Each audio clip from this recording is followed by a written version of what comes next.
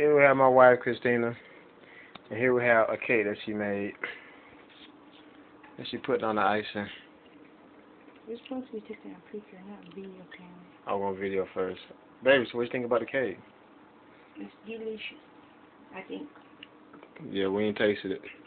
It sure look good though. Well, my Alright. cousin didn't say that for it. Oh, it's, uh, it's for her cut. Her cousin Johnny. His birthday. When your birthday is? Two, today. His birthday is today. I think he's 45. Oh, is he? I guess 45. Oh, I was just guessing too. Well, there we go. We're out.